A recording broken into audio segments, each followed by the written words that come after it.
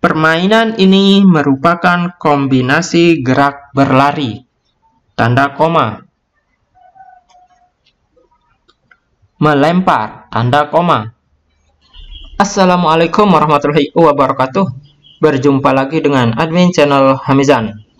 Oke, pada kesempatan kali ini admin akan memberikan tutorial yaitu cara mengetik dengan suara dan hasilnya bisa kita pindahkan ke Microsoft Word.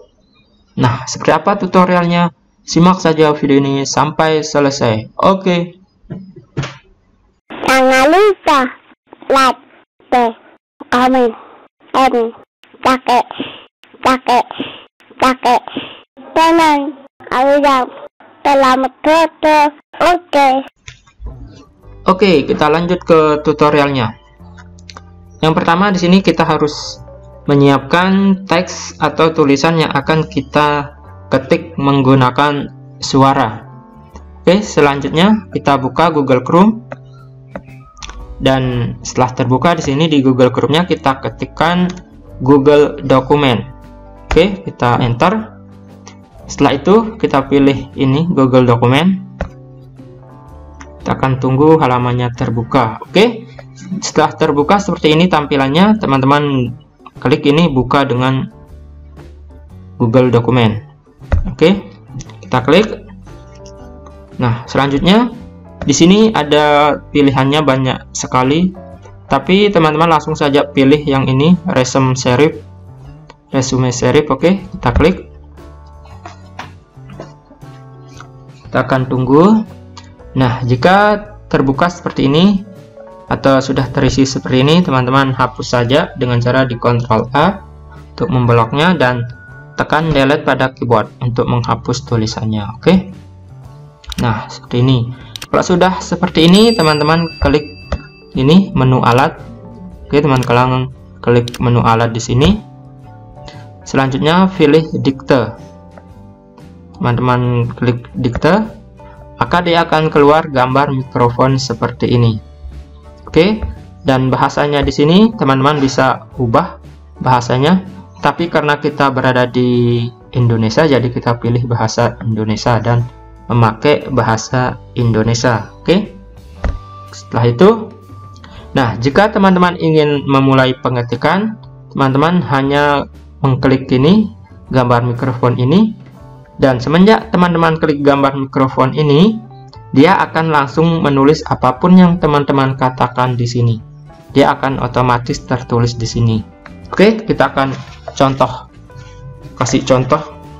Kita akan melakukan pengetikan dengan suara. Oke, kita akan mulai. Kita klik ini. Permainan ini merupakan kombinasi gerak berlari. Tanda koma. Melempar. Tanda koma. Dan jalan mundur. Tanda titik. Permainan melempar bola ke gunungan adalah suatu permainan bergu yang membutuhkan kecermatan dalam.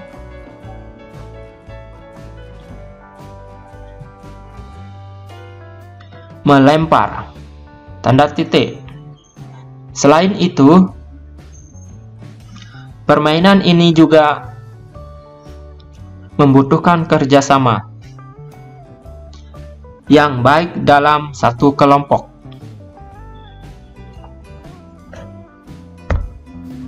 Oke, ini sudah. Jadi jika ada kekeliruan di sini, teman-teman bisa mengubahnya nanti.